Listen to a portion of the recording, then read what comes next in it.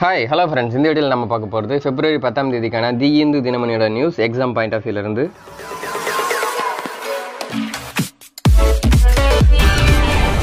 இடஒதுக்கீடு என்பது அடிப்படை உரிமை அல்ல உச்சநீதிமன்றம் தீர்ப்பு. யூபியிலிருந்து உத்தரகாண்ட் பிரிக்கப்பட்டு இடஒதுக்கீடு சட்டத்தில் மாற்றம் கொண்டு வந்தது புதிய அரசு. இந்த இடஒதுக்கீட்டில் பாதிக்கப்பட்ட ஒருத்தர் நீதிமன்றத்தில் கேஸ் போட்டாரு. இதை விசாரிச்ச நீதிபதி நாட்டில் இருக்கிற சிறுபான்மையினர் எத்தனை பேர் அரசு பணியில் இருக்காங்க அப்படின்னு தெரிஞ்சாதான் தீர்ப்பு வழங்க முடியும் அப்படின்னு சொல்லி சொல்லிட்டாரு.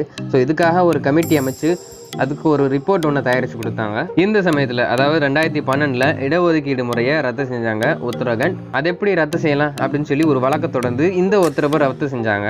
இந்த உத்தரவை எதிர்த்து மாநில அரசு சுப்ரீம் கோர்ட்டில் கேஸ் போட்டாங்க. இதை விசாரித்த நீதிபதி அரசியலமைப்பு பிரிவு பதினாறு நாளில் மாநில அரசு இடஒதுக்கீடு மட்டுமே வழங்க அனுமதி இருக்கு. இடஒதுக்கீடு ஒன்றும் அடிப்படை உரிமை இல்லை. ஸோ மாநில அரசு தேவையில்லை அப்படின்னா அதை நீக்கலாம் அப்படின்னு சொல்லி சொல்லியிருக்காங்க.